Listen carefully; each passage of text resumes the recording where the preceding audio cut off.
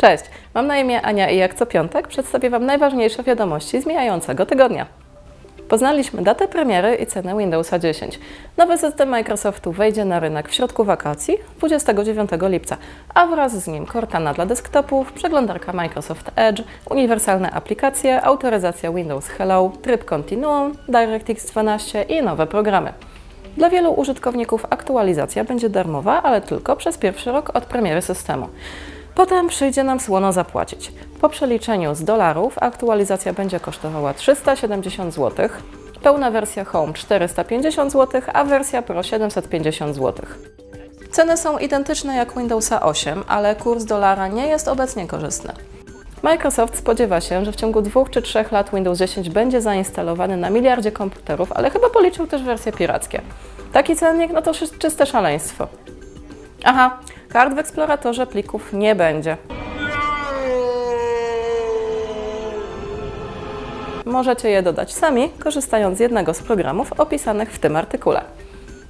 Jeśli ktoś nie zamierza przesiadać się na dziesiątkę z Windowsa 8.1 i chce poznać lepiej swój system operacyjny, polecam śledzenie cyklu Sztuczki i Kruczki. Przygotowaliśmy dla Was kilka praktycznych porad, które mogą ułatwić życie z tym systemem. Następne są już w drodze. AMD w tym tygodniu pokazało odświeżone układy Cavery produkowane w 28-nanometrowym procesie. Apple mają zapewnić możliwość grania, np. z nowego Counter-Strike'a w rozdzielczości Full HD na komputerze kosztującym zaledwie 1000 zł. AMD chce też postawić na głowie rynek niedrogich laptopów. Dziś te maszyny są przeznaczone do prostych zadań biurowych, przeglądania internetu, ewentualnie odtwarzania filmów. Przeznaczone dla nich nowe procesory Carrizo zapewnią nie tylko niezłą wydajność w codziennej pracy, ale też pozwolą płynnie pograć w nowe gry w rozdzielczości Full HD, a także odtwarzać filmy 4K. Nawet nie próbujcie tego robić ze zintegrowaną grafiką Intela. Dzięki wprowadzonym w Carrizo ulepszeniom w zarządzaniu energią, także czas pracy laptopów na akumulatorach będzie godny pozazdroszczenia. Tymczasem obóz zielonych zaprezentował GeForce GTX 980 Ti. Karta ta przegrywa co prawda z odpowiadającym jej cenowo Radeonem kilkoma klatkami na sekundę w grach, ale bije ją na głowę poborem prądu. Jedynie 250 W.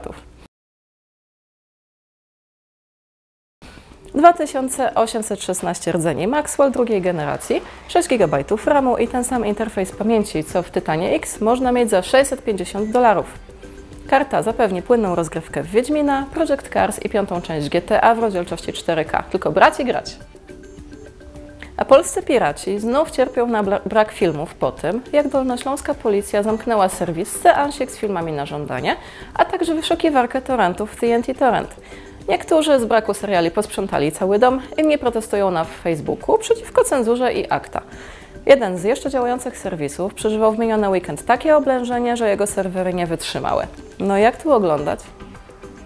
Używacie selfie sticków? Pamiętajcie, że wiąże się z tym ogromne niebezpieczeństwo. Nie tylko można zrobić sobie krzywdę, ale też nagle zorientować się, że istnieją inni ludzie. Victoria's Van Goghs are growing in size, doubling and tripling in length. generated by this new point of view leads our self-focused friends out into a much wider world, and that leads to disaster.